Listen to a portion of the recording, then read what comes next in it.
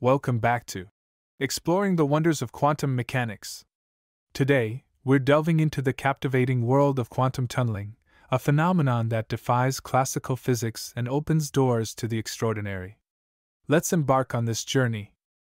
Quantum tunneling is a bizarre yet fundamental phenomenon that allows particles to penetrate energy barriers seemingly beyond their reach.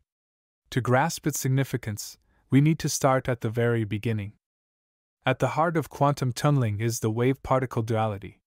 Particles, such as electrons, exhibit both particle like and wave like behaviors, enabling them to navigate barriers as if they had ghostly properties.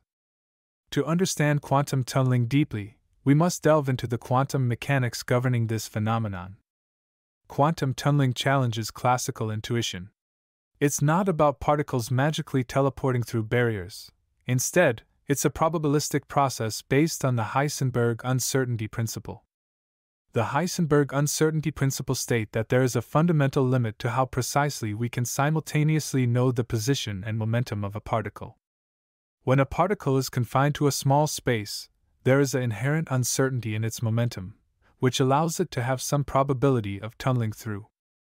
Quantum tunneling isn't confined to the theoretical realm. It has real world applications with significant implications. Quantum tunneling has a prevalent role in electronics, E.G., tunnel diodes, where tunneling facilitates faster and more efficient devices. Quantum tunneling plays a vital role in nuclear fusion within stars and allows the sun to shine by overcoming the Coulomb barrier. The likelihood of tunneling through an energy barrier depends on various factors, including the barrier's width, height, and the energy of the tunneling particle. Narrow and lower barriers are easier to tunnel through, and higher energy particles have a higher probability of tunneling. As we dive deeper, we'll encounter some challenges and fascinating experiments related to quantum tunneling. The concept of tunneling time is a subject of debate and research in quantum mechanics. It involves understanding how long it takes for a particle to tunnel through a barrier. It remains a complex and ongoing area of study.